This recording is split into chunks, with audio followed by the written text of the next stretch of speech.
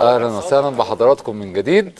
كنا بنتابع مع بعض هذا التقرير عن المسيرات اللي انطلقت من جامع الأزهر النهارده ومن مناطق مختلفة. وزي ما شفت حضرتك كان في مظاهرة بسيطة جدا أو مجموعة من عشرات بتحاول أن آه، توقف تحرك المظاهرة المتوجهة للتحرير ولكن انتهى الأمر بدون أي اشتباكات أو أي حاجة في الدنيا. أنا بس كل ما بشوف أنا معاكم طول النهار النهارده وكان معانا آه، زميلي مظهر شاهين لكن المتابعة بتاعت النهارده كلها بتخليني بسأل سؤال يعني. وهقوله للسادة الضيوف هو الناس اللي في الشارع دي كلها والشيوخ والشباب والسيدات والأطفال والكلام ده أكيد الناس دول عندهم حاجة يعني تعباهم حاجات كتيرة تعباهم. هو إحنا ليه في مصر ما نحاولش نح- نريح الشعب اللي هو صاحب الدولة صاحب الأرض صاحب الثروات صاحب التاريخ هو صاحب الحق الأصيل في كل حاجة. هو ليه الشعب المصري ما يستريحش شوية؟ ليه ما, ليه ما يحلمش بمستقبل أفضل؟ ليه الوجوه المتعبة دي والمرهقة والكادحة واللي مش لاقية قوت اليوم واللي مش لاقية فرص عمل واللي مش لاقية كرامة واللي مش لاقية حرية ومش ومش لاقية عيش ولا عدالة اجتماعية ليه ما نريحهاش؟ إيه الصعوبة في ده يا دكتور هاني؟ هقول لحضرتك. إحنا آه ممكن تديني دقيقة بس قبلها أقول اتفضل. إحنا إيه إيه إيه في رأيي إحنا كنا فين وإيه المفروض عشان نوصل لهذه. النتيجة؟ أنا بتكلم عن الناس بقى. هوصل للناس ده لأن هو ده الهدف الأساسي ما إحنا في الآخر أصل أنا بشوف الوشوش؟ في الشارع يعني عايزة تستريح. الثورة دي قامت ليه؟ ما قامت ضد الظلم وعايز أقول كمان معلش أنا هقطعك وكمل بقى. عايز أقول الشعب هيعمل أكتر من كده إيه؟ صح. يعني طلع بقاله سنة طالع في الشارع وقدم شهداء وقدم دم. هو أنا مش منفعل بس مش أنا مستغرب كلام. لحد ها؟ مش واخدين غير مش كلام. واخدين غير كلام. إمتى الناس دي عايزين يقدموا إيه بقى؟ يعني يعني يسيبوا البلد ويهدوا يعني يعملوا إيه؟ ما هم قدموا كل التضحيات. الأول كنا بنقول الشعب سلبي ما بيعملش حاجة. سنة كاملة من ال- الأثمان المتوالية من دم شهداء وشباب زي الفل. نريحهم إزاي؟ خلينا نقول هاخد في عناوين تلغرافات.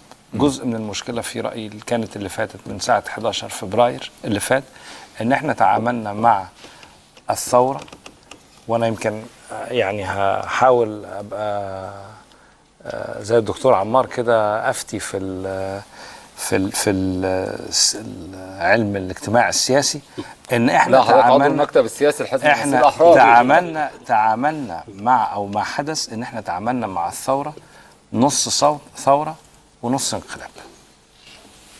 آه ده كلام. حقيقي؟ نص ثورة انه الثورة اعتبرنا إنها انتهت أو المجلس العسكري وده أعتقد الخطأ السياسي الرئيسي اللي حصل. اعتبرناها إنها انتهت ب 11 فبراير وبسقوط رأس النظام.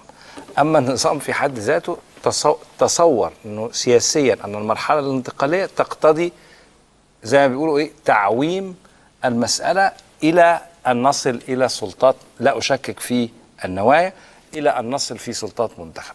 ولا يمكن كان الشعب المظلوم والثورة تقبل بأن يستمر هذا الوضع وأن يكون لديه الصبر الكافي حتى يتم الانتخابات وتنتهي. يعني ما فهمناش معلش يعني ما فهمناش إنه الثورة دي كانت ضد حياة رغبة في تغيير جذري ورغبة في تغيير الحياة كلها.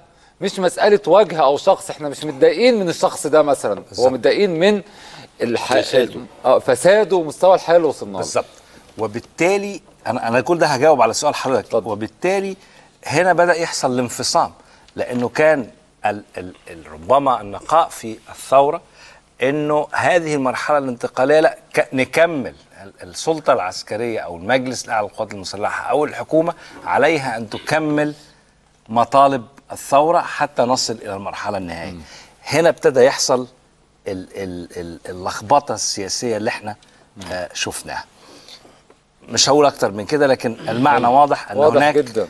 تشخيص هايل. الجزء ال- المرحلة الثانية اللي أنا برضو بختلف فيها مع دكتور أحمد أبو بركة والكلام اللي بنسمعه الفترة الأخرانية إنه. بوجود مجلس الشعب هناك بعض التلميحات يمكن حضرتك ما قلتش هذا الكلام دكتور أحمد لكن هناك بعض التلميحات أن في ذلك قدر خلاص سيبوا بقى إيه؟ الشرعية البرلمانية الشرعية المنتخبة تشتغل ومحدش يتكلم تاني أو مفيش لا الشعب أنا لما أخد أنت ما بتقولش لا، عشان كده أنا أقول لكن هناك بعض بعض بعض الكلام اتقال وبعض التلميحات في يعني روحوا وإحنا هنتصرف بقى. إحنا خلاص برلمان منتخب علينا أن نحت... نحت... ن- آه، نحترم هذا.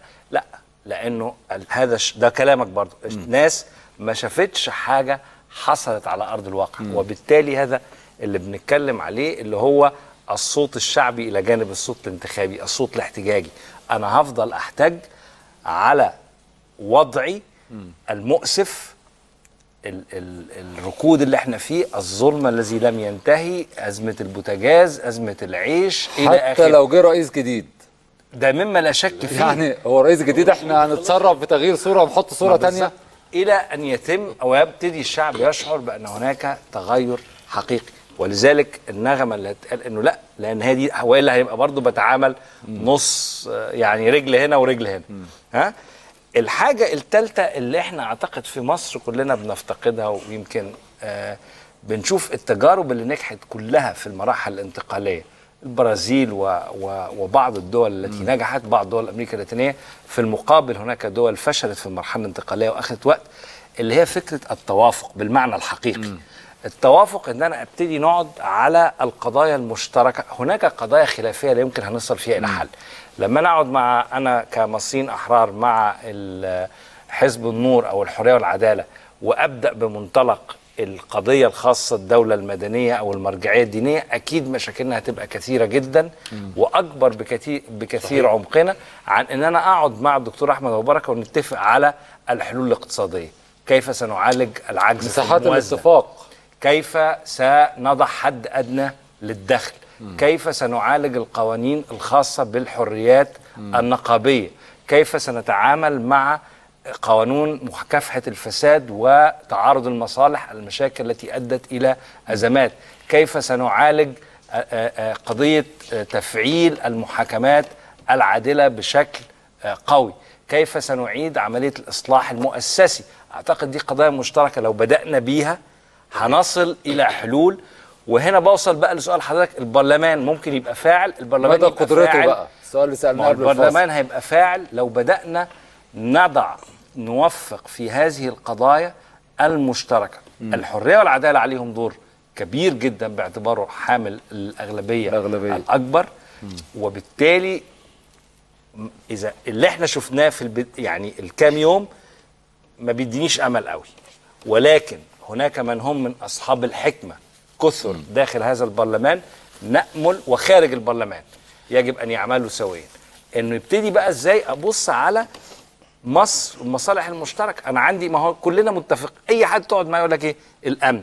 طيب تعالى بقى نتكلم. ولما جبنا وتوفرت إرادة سياسية ووزير الداخلية الجديد له خبرات في الأمن العام بدأنا نشوف. شفنا إرادة سياسية لما أردنا ننجح الانتخابات نجحت الانتخابات. مع الإرادة توافق لأنها توافقت أيضا مع الإرادة الشعبية. لما نيجي نتكلم على وازاي هنعيد الهيكل بقى منظومة الداخلية بشكل منتظم أعتقد إن دي قضايا كل متفق عليها.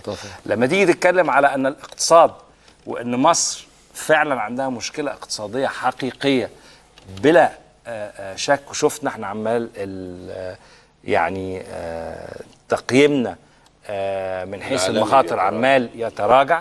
مما لا 16 شك فيه أن الأولويات عشان أرجع الاستقرار هناك ودكتور أحمد بركه قانوني زي حالاتي يعلم إنه في قضايا الاستثمار وتسويتها لابد إن أنا والحاجات دي هتبان على الأرض دي بالنسبة لابد للناس. ده لابد إنها تبقى أولويات. مش لو هبتدي بقى نرجع تاني مزايدات ومين هيطلع في التلفزيون ومين هيتكلم أكتر من التاني ومين القضايا ومين هيقعد بقى يتكلم على آه الكل يلبس اللي يلبس وشاح هنا ويلبس وشاح هنا و... ونطلع في التلفزيون. مش هنخلص. لكن لو بدأنا نتكلم لو إحنا فعلا مخلصين وبدأنا هناك قضايا مشتركة ممكن تعبر بمصر خلال تل... لما بنيجي نتكلم حتى في القضايا السياسية اللي النهارده حضرتك اتكلمت فيها زي اللي عندنا خلاف تسليم السلطة إلى سلطة مدنية. الجميع متفق الجميع متفق. الأولويات شكلها إيه؟ الأولويات. وممكن يبقى عندي خلاف سياسي. أنا أنا أنا آسف اتكلم بنيابة عنك لكن ممكن قد أكون أنا مخطئ. وارد جدا إن أنا لو أنا نظام لو أنا زي في في آه، مقعد الإخوان المسلمين والحرية والعدالة قد يكون النظام البرلماني من وجهة نظري سياسيا أفضل باعتبارنا عندي فاستطيع أن أشكل حكومه ليس هذا بالضرورة موقفك. ممكن جدا أنا أكون شايف من وجهة نظر أخرى سياسية لا النظام الرئاسي أفضل لأنه يحافظ على مسألة التوازن إلى المرحلة الانتقالية أو القادمة. نظام مختلط. كلها قضايا مشروعة لو ببص عليها في إطار المصلحة العامة وبجد توازن يعني عاوز اكد تاني قضية التواصل والتوافق على القضايا المشتركة وتحديد أولويات وطنية مسألة في غاية الأهمية وبتجارب الشعوب التي نجحت في العبور بشكل سريع من- في المراحل الانتقالية وانتقلت إلى الديمقراطية والبناء الحقيقي هي اللي عملت ده. لو ما عملناش ده إحنا جزء بقى من المشكلة دلوقتي إن كله بيزعق وكله بيتكلم على الاختلافات وكله شايف مواطن الاختلاف.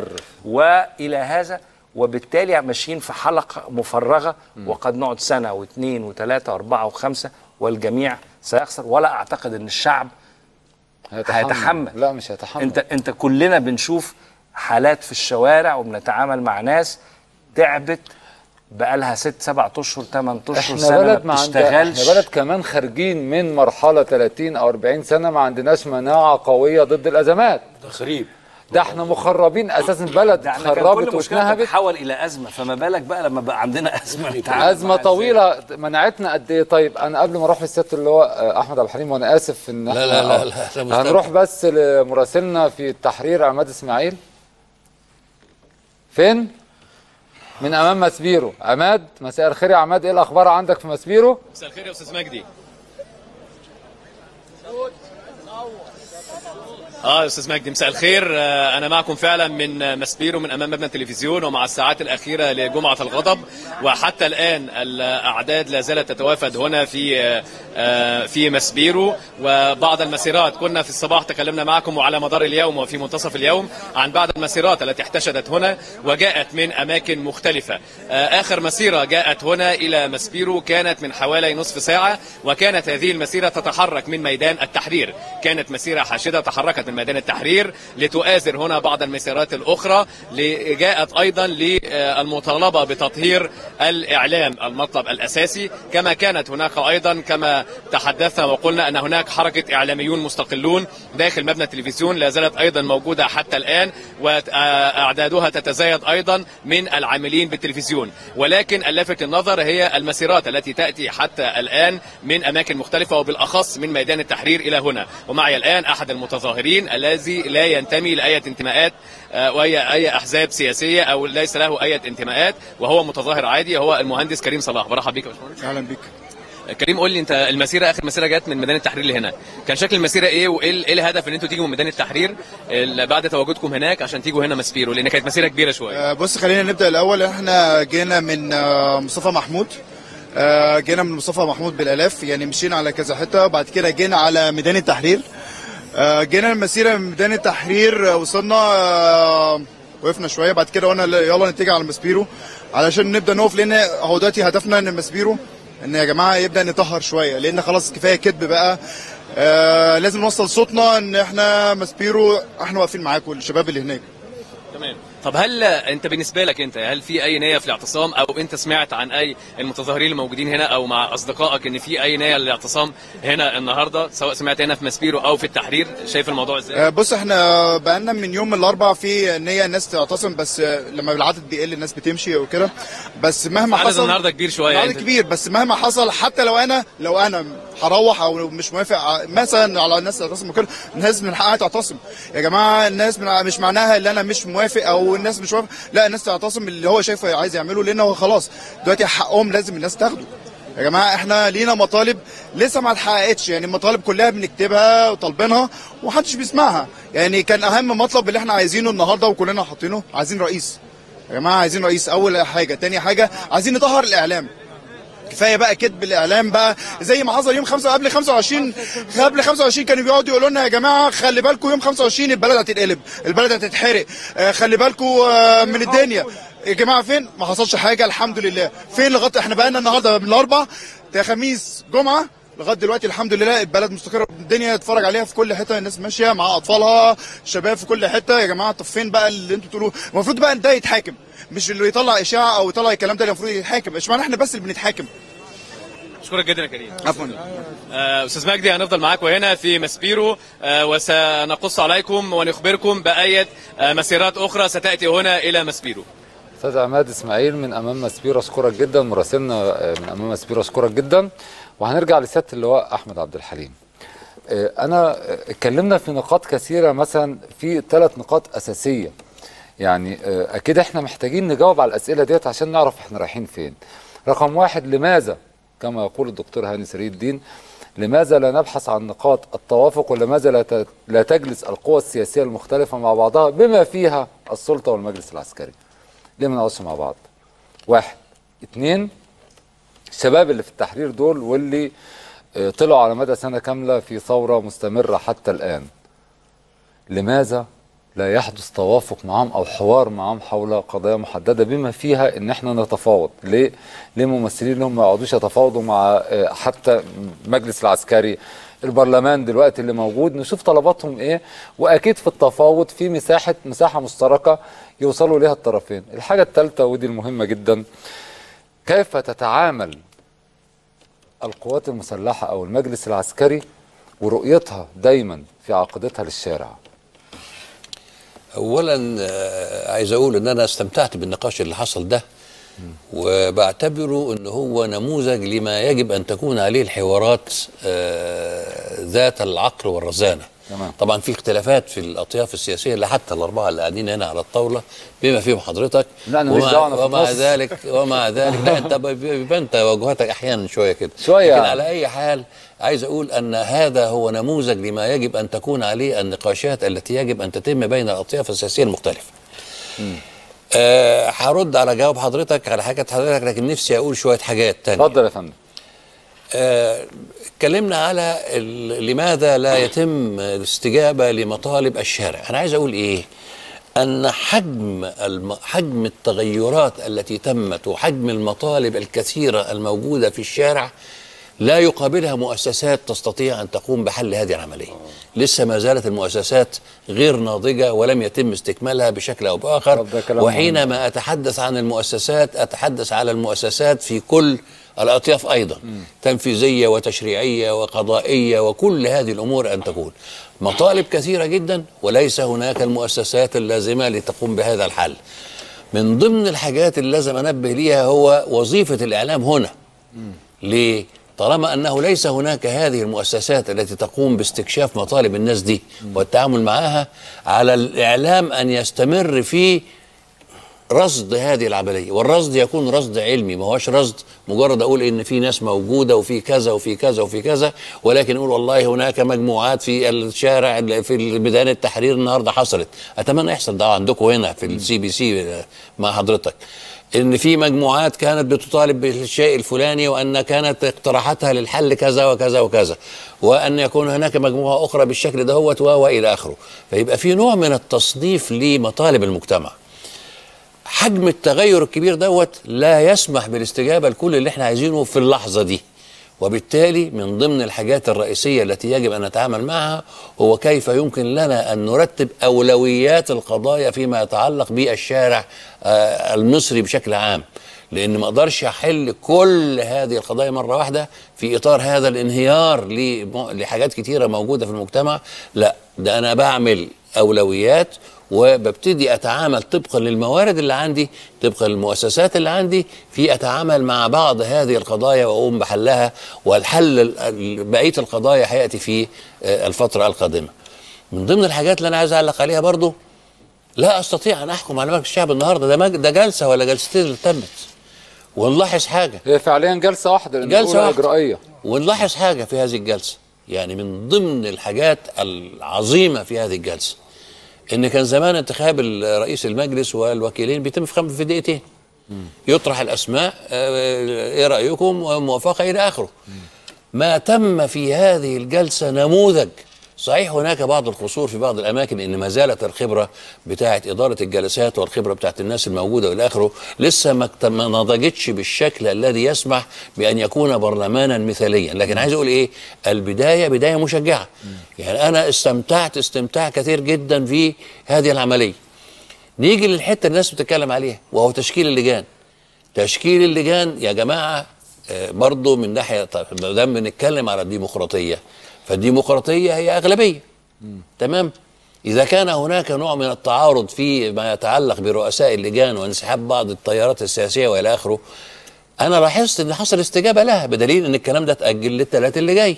معنى كده إن للثلاث الجاي معناها إن هناك استعداد من الأغلبية الموجودة داخل المجلس في التفاهم مع باقي التيارات والأطياف السياسية الأخرى عشان يصلوا إلى حل يرضي جميع الأطراف.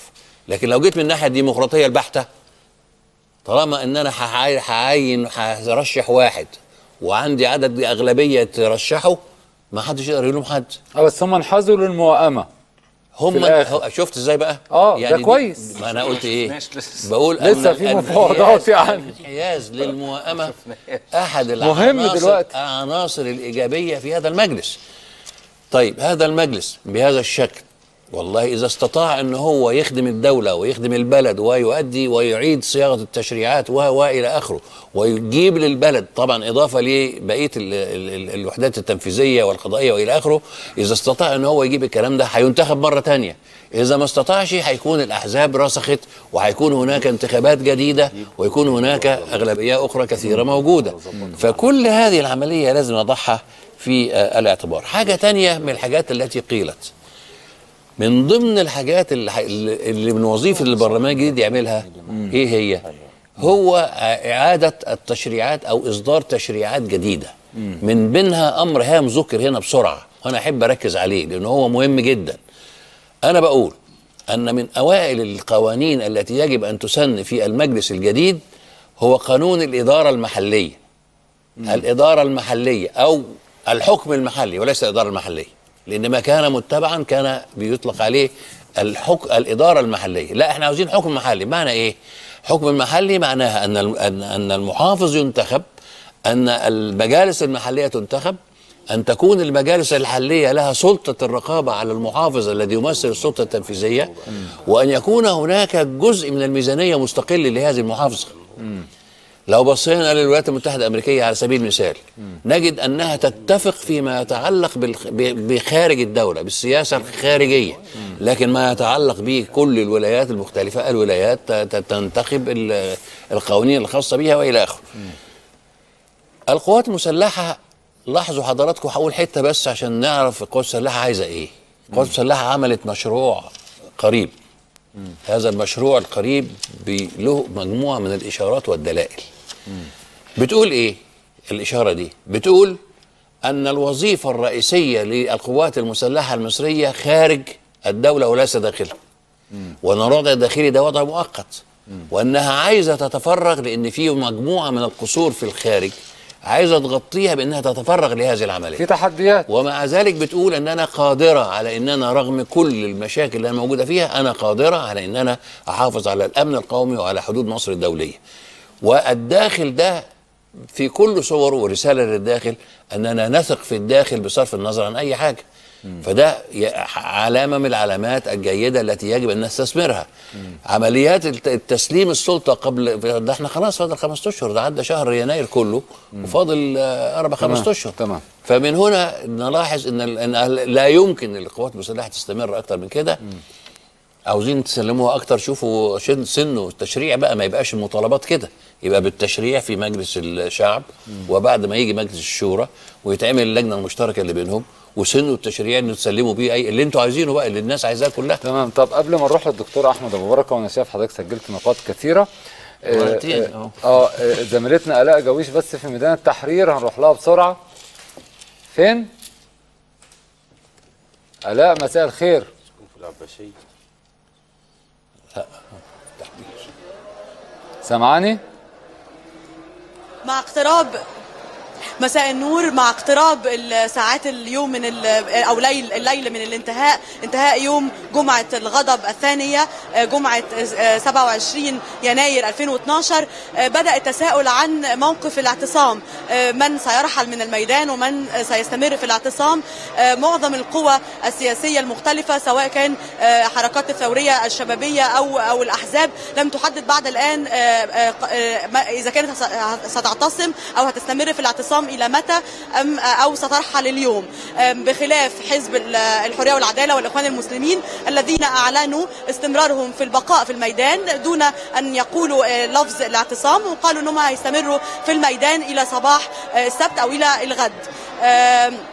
أما مثلا اتحاد شباب الثورة آه، أصدر بيان بيعلن فيه رؤيته أو تصوره لإنتهاء الأزمة بوجود أو باختيار رئيس توافقي بيتم ال- الاتفاق عليه من قبل القوى السياسية المختلفة وكذلك نواب مجلس الشعب يقوموا أيضا باختياره أو بالموافقة عليه لأنهم يرون ان إن مسألة الدخول في آه، الرئيس اولا أو الدستور اولا هي يمكن أن تترك آه، أو تخضع تخضع إلى تحت مائدة المفاوضات مع القوى السياسية المختلفة. لكن من يخرج أو الذي يستطيع أن يخرج مصر من هذه الأزمة آه، التي نشهدها آه، هذه الأيام هي هو وجود رئيس توافقي خاصة وإن البورصة أعلنت منذ آه، يومين أو خلال اليومين الماضيين عن أنها حققت مكاسب تتعدى 16 مليار دولار.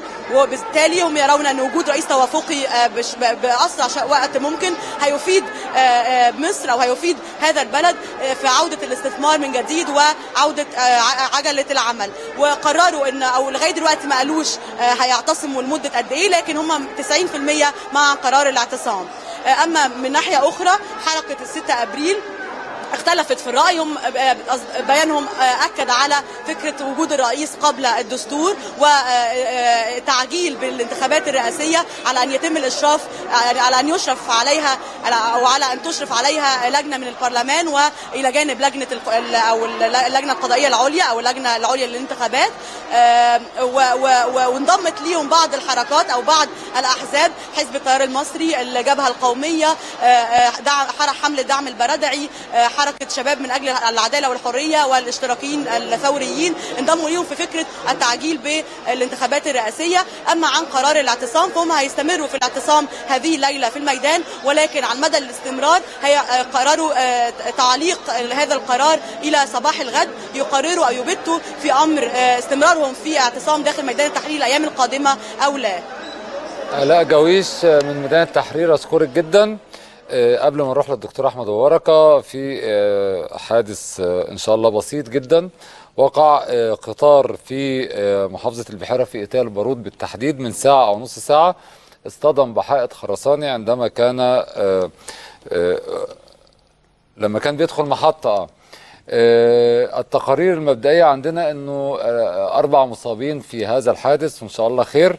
لكن معانا على الهاتف المهندس هاني حجاب رئيس هيئة السكك الحديدية. مساء الخير يا فندم. مساء الخير يا مجدي بيه. أهلا بيك آه، طمنا يا فندم على هذا الحادث. إن شاء الله يكون بسيط. إن شاء الله. هو سيادتك آه، قطار آه، رقم 32 ده قطار آه، ركاب بيقف منعكس ما بين اسكندرية القاهرة. كان هو عند دخوله محطة ايتاي البارود كان مقرر ليه إن هو يدخل على مخزن التخزين. نظرا لأن في قطار خلفه قطار 926 ده اللي هو مبا- مباشر من الإسكندرية القاهرة بيفتح له الطريق يعني فهو طبعا آه، قطار 32 ده داخل على سكة مخزن. سكة المخزن دي دايما بتبقى منتهية يا مجدي بيه بكتله خرسانية كده بنسمي- بنسميها تصادم خرساني. فهو دخل بسرعة عالية آه، أزيد من اللازم فصدم بالتصادم دوت وحصل سقوط للجرار وعرض خلفه. من على السكة وترتب عليها إصابة أربعة آه، بكدمات خفيفة الحمد لله وإن شاء الله بنطمن عليهم. وأنا بعت آه، أحد العاملين عشان يطمئن عليهم في مستشفى إيتاي البارود. الخطين القاهرة اسكندرية واسكندرية القاهرة الخطين الطالع والنازل الحمد لله شغالين بانتظام مفيش أي عطل ليهم يعني هذا الحادث لن يؤثر على حركة القطارات. الحمد لله لا لم يؤثر ولن يؤثر على حركة القطارات بين القاهرة واسكندرية. والأربع مصابين من الركاب وإن شاء الله إصابات طفيفة إن شاء الله كدمات خفيفة قالوا لي كدمات خفيفة ومع ذلك أنا بعت برضه آه، آه، أحد المسؤولين عشان يطمئن عليهم في المستشفى ويطمنا عليهم إن شاء الله.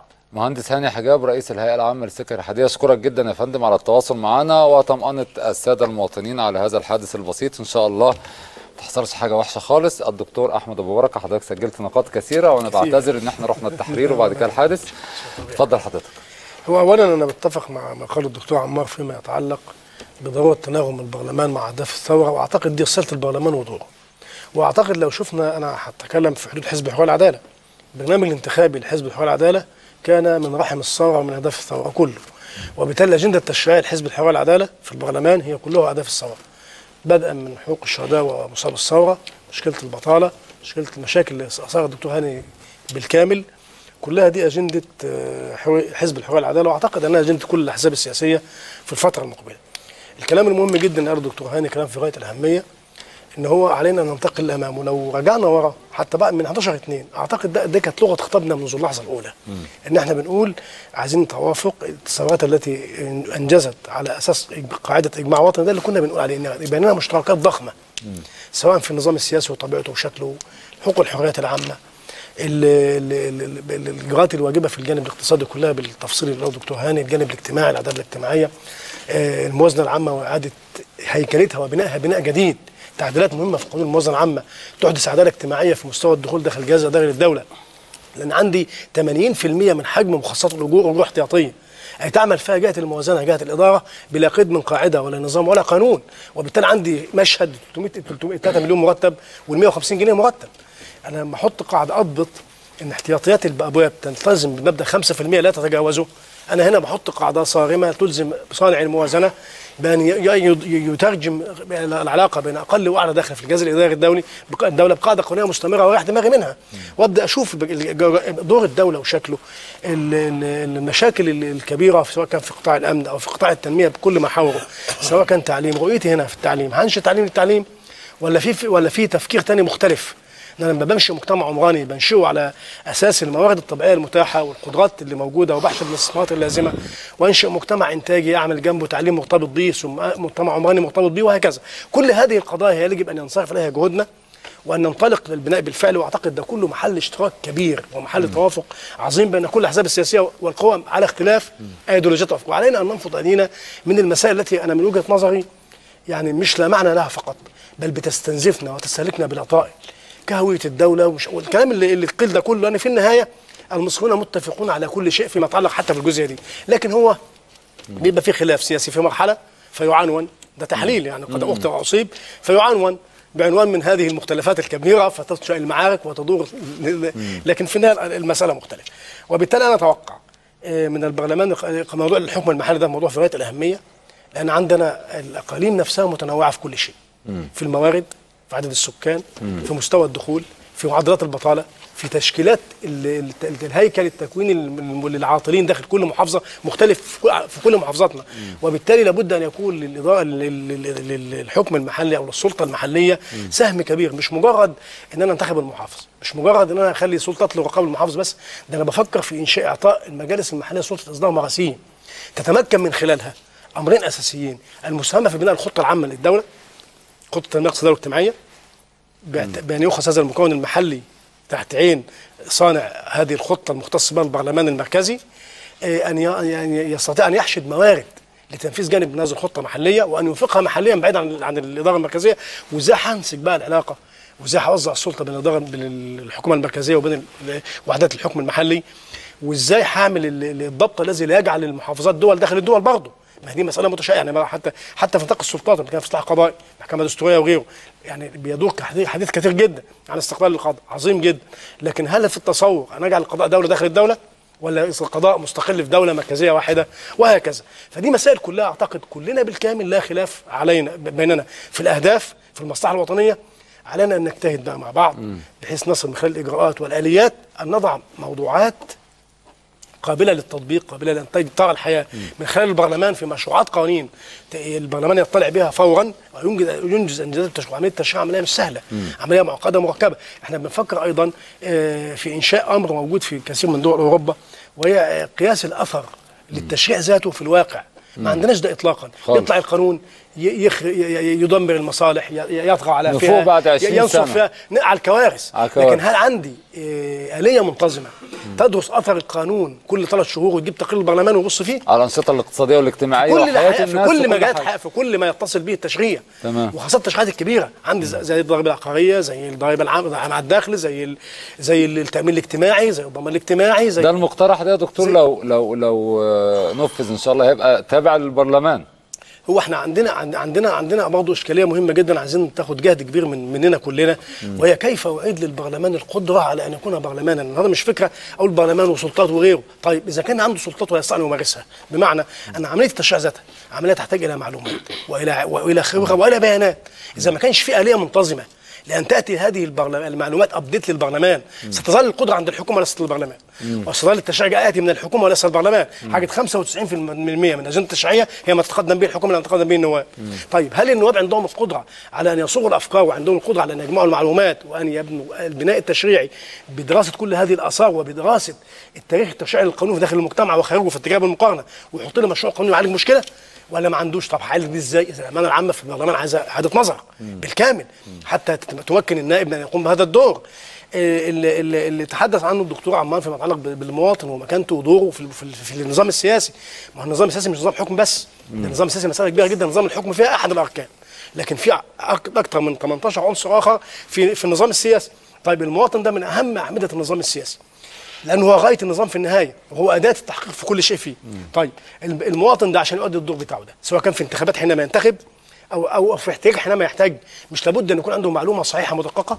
مش لابد أن تكون إرادته دي مبنية على إرادة حرة مختارة مدركة واعية؟ ولا ممكن أنا أكتب كلمتين في جورنال أخلي المواطن يذهب في اتجاه؟ ولا ما أوفرلوش معلومات أو أديله معلومات بشكل غير مدقق؟ أنا عندي أزمة كبيرة جدا اني لا يوجد عندي في مصر مصدر لمعلومة مدققة في أي قطاع من قطاعات الدولة. لا اقتصادي ولا اجتماعي ولا سياسي اللهم إلا في الإحصاءات العامة الكلية وهي برضه يعني حتى بالمعايير العالمية فيها مشاكل فيها مشاكل. يعني أكبر مشكلة بتواجه المجتمع البطالة. عندي فيها أكثر من من من, خمس ست منظومات بيانات فيها. ما فيش بيان واحد أنا أطمئن إليه. وبالتالي آه، آه، معالجة هذه القضية وإتاحة المعلومات والبيانات المدققة الرسمية. بشكل دوري منتظم لل- للمواطن العادي حتى يستطيع انه يكون يكون يشوف أنا أنا أنا انتخبت برلمان. شغال البرلمان ده صح ولا خطأ؟ الحكومة دي شغالة صح ولا خطأ؟ هستناكم خمس سنين عشان أعرف بقى عشان خطأ أعرف. ولا صح. إذا لا. لابد إذا لابد. أنا أنا عندي عندنا عندنا عن- عندنا أنا على المستوى الشخصي كنت درست مجموعه تجارب وده موجود في شيلي تقريبا بي- بيبصوا بيحاولوا يحطوه في الدستور الآن. انشاء ما يسمى بسلطة المواطن اللي هي آه، تستطيع أن تمول المواطن بهذا القدر من المعلومات بشكل متدفق ومضطرد ومنتظم. وتضمن للمواطن ممارسة صلاحياته في الفعاليات العامة. بإن آه، بيتبعها في الحتة دي. أجهزة الرقابة في صله بها بشكل مستمر وإن أجهزة الرقابة ما تنزلش تقاريرها وما تقوم به سري للغاية وسري جدا و... ومحطوط هنا ويروح لجد ويوحش ديت ويطلع هنا ويسوي بيه والقيد على أجهزة رقابية. دكتور أحمد ما هو تف- في كل ورقة في الدولة سري جدا. قانون بالضبط. حريه قانون حرية, حرية المعلومات. ده بقاله كام سنة يا؟ دكتور؟ اللي هو تبقى المعلومات كافية بس ما مناسبة عليها. وفي التوقيت المناسب. ده إحنا بنعاني منها في الإعلام. عندك مشكلة تقدر تحلها في البرلمان بإنه التق... إنه إن هناك كثير من الأجهزة اللي موجودة عندك يبقى تقاريرها مباشرة لمجلس الشعب. لو مش كده بس جهاز أجهزة معينة في أجهزة معينة في قيد. عليها. ده مش كده بس عند التنظيم القانوني الحالي بقى إنه قيد على أجهزة معينة ألا تباشر رقابه على مستويات إدارية معينة. وعندي قيد تاني على أجهزة معينة لا تستطيع أن تبلغ بتقاريرها وهي فيها جرائم جنائية النيابة العامة. صح. ده موجود عندي حاليا. ده لابد لابد من ده كله. لابد أن يعاد فيه النظر على المحورين محور العلاقة ما بين هذه الأجهزة الرقابية والمؤسسات السلطات وبين الرقابة والمواطن ذاته في حد ذاته. وبالتالي ال- ال- المسائل إحنا نقول مش لا.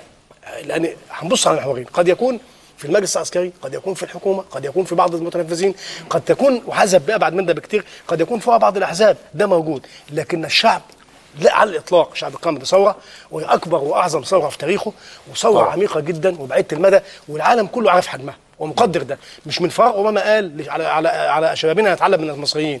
ومش من فراغ قال لا جديد برلسكوني المصريون دايما يكتبون التاريخ. أو كاميرون وغيره وغيره. الناس دي دارسة ومحللة ومراقبة وعارفة إن في تغيير جذري عميق. إحنا بقى كيف نست يعني نستحضر هذه الروح دائما؟ وأن تظل معنا أطول فترة ممكنة حتى نعيد علاقتنا فأنا وأخويا وجاري وعمي وخالي وقيمة العمل والتجويد والإحسان وسقوط كل قيم القيم السلبية. آه بالضبط بالضبط. ده اللي إحنا إيه عايزين. ودور البرلمان هنا بقى مركزي أساسي هو حجر الزاوية في هذا. تمام. طيب هستأذن حضرتك وهنطلع فاصل ونرجع في الفقرة الجاية هنستقبل آه، مداخلات السادة المشاهدين. نسمع بقى الناس في البيوت بتقول إيه وشايفة الأحداث اللي بتحصل إيه وهنعلق مع بعض ونحلل ونشوف هل المواطن في البيت شايف اللي إحنا شايفينه ولا شايف حاجة تانية خالص من اللي بيحصل في ميدان التحرير وفي مصر كلها؟ بعد الفاصل.